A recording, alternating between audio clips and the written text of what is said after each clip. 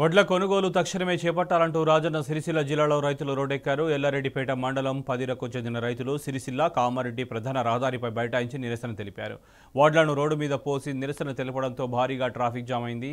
IKP సెంటర్లకు రిబ్బన్లు cut చేసి ఇరవై రోజులు గడుస్తున్నా కొనుగోళ్ళు మాత్రం మొదలు పెట్టలేదని రైతులు మండిపడుతున్నారు. రైతులకు అన్ని విధాలా మేలు చేసింది బీఆర్ఎస్ ప్రభుత్వం అయితే కాంగ్రెస్ మాత్రం రైతులను వేధింపులకు గురి చేస్తూ రాకాసి ప్రభుత్వంలో వ్యవహరిస్తుందని వాపోయారు.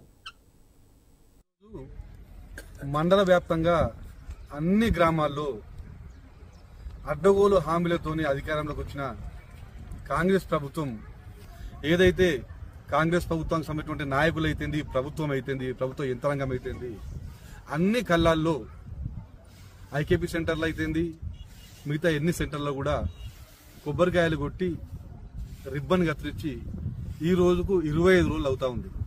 ఇరవై ఐదు రోజుల నుంచి మళ్ళీ ఒక్కలు కూడా కళ్ళాల్లోకి వచ్చి రైతుల పరిస్థితి ఏంది? మీరు పండించుకున్న ధాన్యం పరిస్థితి ఏంది అని అడిగిన పాపాన పోలేదు.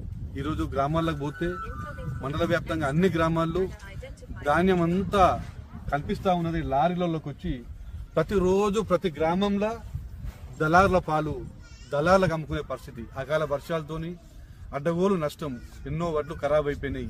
ఎండబోసిన వడ్లు కొనే పరిస్థితి లేదు. ఈరోజు రైతులందరూ కళ్ళల్లో కొద్ది దీన పరిస్థితి అన్న ఎప్పుడు వస్తున్నాయి గన్ని బ్యాగ్స్? ఎప్పుడు పెడుతున్నారు కాంట?